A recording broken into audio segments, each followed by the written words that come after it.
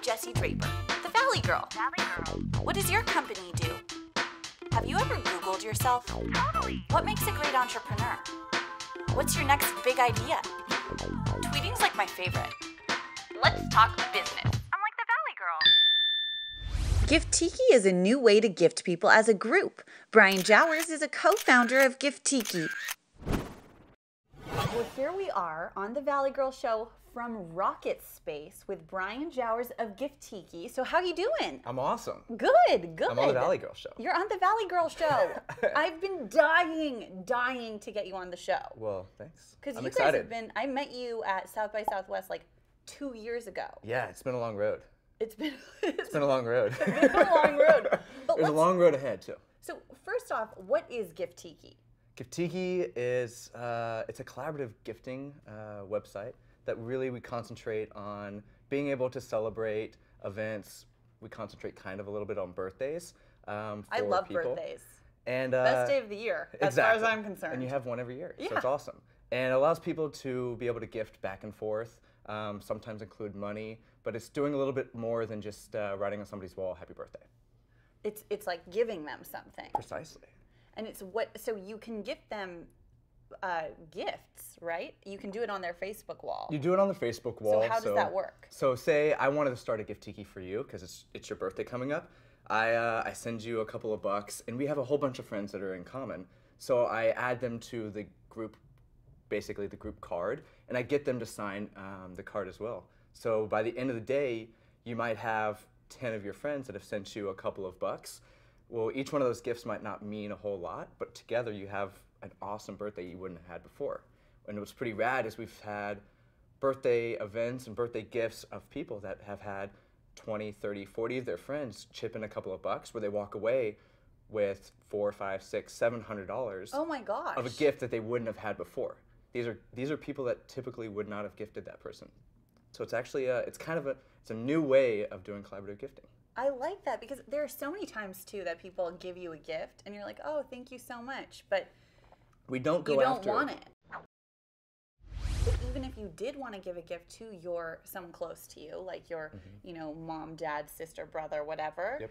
um, you you could be like, okay, well, I know they want an iPad, and I know they want, and I think they might want an iPhone. I'm not sure which one, so maybe Yeah. we all just pool our resources, and then they can use it towards whichever. So, we put the power in the recipient's hands. have you ever been gifted something that you didn't want? Man, that's a sticky question. no, they've all been awesome. Like, I'm sure along the road there's been something, but uh, nothing really. St- oh, how about you? You've gotten something, haven't you? I'm sure I've gotten something. You know that there's those times that someone gives you something and you're like, oh, thank you so much for this like elephant shaped cookie jar. Why did you start Giftiki? Mm-hmm. So Giftiki was born really from my co-founder Justin. He had the idea of, you know, it's it's so and so's birthday. I want to do a little bit more than just write on their wall, and also like he he explained the scenario where he, he for his birthday he got a couple of cards from his aunt, his mom, and when he added up all like the the, the postage and the actual card, the offline behavior, he could have actually gone to the Magic game that he really wanted to go to, uh, the the Orlando Magic game. So he was like, why why can I just not make this more efficient and make this an online behavior? It all started with a basketball game. It all started with a basketball game. Nelson lets it fly. Got it. Where were you based originally? We've been on a uh, on a roadmap, uh, starting uh, starting in Texas, Okay. and then we went through an incubator. In ten days of finding out we were in the accelerator, we were in Cincinnati, and then before uh, the the round was closed, we were out in California. So, so you in 10 days. I have very little. I have I have a commitment issue thing.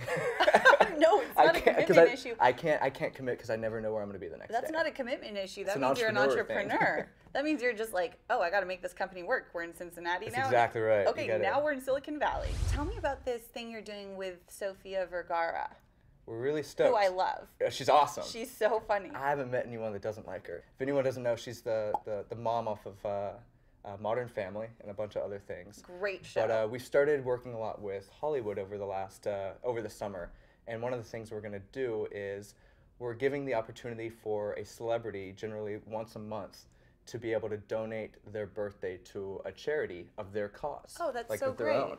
And Sofia has her own charity called Dreams Without Borders. Okay. And uh, it helps Latino children to be able to uh, go and experience the world beyond what they normally were able to do.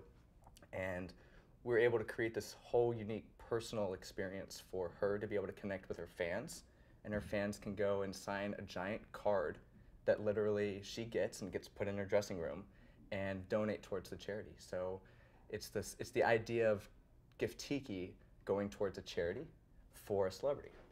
So it's it's kind of unique, I but it's uh, great. it's really exciting to be able to get her fans engaged with a charity that she's really passionate about. Well, can I give her something Absolutely. for her birthday? So I want you to be the first person to actually gift Sofia, which will be great because. oh, I'm so excited. so here you go. So this would be her card. Okay, so and you this can be one of the first card. people to actually sign, and you can doodle whatever you want. If you want to put a horse on there, whatever it might be, you can do so whatever. I could draw a picture or a write her. picture, I could write her a love letter. It's gonna go right in the middle of her dressing room. I'm gonna write her a love letter.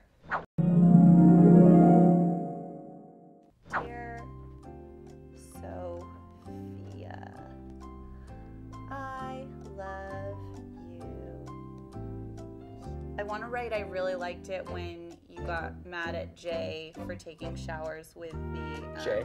Frenchie bulldog with the French Oh, yeah. bulldog. But I just I don't know if I can fit all of that. so um, You can draw a picture of the dog. Modern. Oh, that's a good idea. Fam. I'm abbreviating now. Rocks. Okay, yes, I'm definitely drawing a bulldog. Okay, they have that little French. How, what does a bulldog tail look like? A French bulldog. Like the little one. Is it like have no curly? We're gonna pretend it's like Now a we're pig. getting in trouble for not knowing. It- We're gonna it's gonna be like a pigtail, but it's a really cute little. Now it looks. That's a pig for sure. That's perfect. EXO, the Valley Girl. There we go. I'm really proud of it. Let's see it. That's awesome. That's perfect. if every fan was that uh, adoring, then then we're on to something. So, um, okay, I have a question for you just as an entrepreneur. Go. I feel like entrepreneurs are always, you know, coming up with new ideas like how do we get this out there? How do we do this? How do you brainstorm? I don't sit down and say this is my brainstorming time unless I really have to. Um, it just generally it's it kind of goes with the flow, and really it's about the people you put around you. It's it's my team, it's my advisors, it's the it's the it's the environment that you're around that really leads to brainstorming. Um, the, the So do you talk it do you talk it out with them? all the time. Yeah. People people probably get sick of me talking ideas out with them. Um, but That's what's, how you get them out there. What's really fun is when people realize that you do what you get to do on a daily basis. They pitch you your their ideas because they want feedback on what's going on.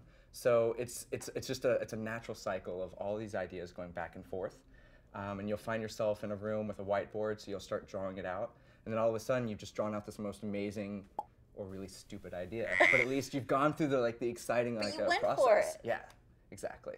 It's more important to actually talk the ideas out with typical users and typical people because it's it's those people that are driving what you're doing and making sure that like you're actually onto something as opposed to just making your own idea sound cool because it's it's the users that really uh, react to your products and and validate what you're doing. Okay, what is one piece of advice you would leave for a new entrepreneur just starting out? You've learned so much, especially these past couple of years. Absolutely. Uh, so there's I, I, I, I- do a lot of talks and uh, I, I, I, I, I work with a lot of uh, younger um, entrepreneurs in, in, in their stage. And one of the things that I really I think is super important for them to, to really think about is putting the right mentors around them. No matter where you're at in your in your career, your stage, and whatever you're doing, whether you're an entrepreneur or not, um, having the right mentors is key because not only can they guide you on what you're doing, but they can connect you and get you moving in a much faster clip. So I think that's that's something that's really important. I like that. And how do you stay? How do you stay um, excited about what you're doing? You know, I, I lucked into being able to do something I really enjoy as, I guess, a job. Um, so it's not it's not something I have to work on to stay excited about. This is what I do. This is what I really love, and I guess everyone in my position is always afraid of like what happens if you don't get to keep doing it. Right. Um, so it's it's not a it's not a fear of like staying excited. It's a fear of like what happens if something changes where I don't get to keep do, keep doing this. Um, it's uh, it's just something I love. So that passion is kind of just driving you to just yeah, it's natural. As long as you're doing what you really love, then everything else falls into place. Well, you are so fantastic, Well, Bryan. I love what you're doing with Giftiki, and I just can't wait. I can't wait to see my my note go to Sofia. I know. You guys are about to be everywhere. Well, I'm excited because uh, we're getting to do something that's really cool, and uh, it's uh, it's a fun product to work on. I'm like the Valley Girl. And I'm like Bryan Jowers with Katiki. Go Giftiki. Go Giftiki. Go Giftiki. You should be go our Gift you should, you should be our dancer. I could, we need one. I'll make up a whole cheer. Oh man, that's what we need. Uh, That's the thing we're missing. Yeah, you are missing a Valley Girl cheerleader for Giftiki. I need it. Um, you're in. You're hired. Done. Yes! And now it's time for your Dits moment. Well, here we are on the Valley Girl show at Rocket Space with Bryan Jowers of. Let me start over. Hold on, one sec.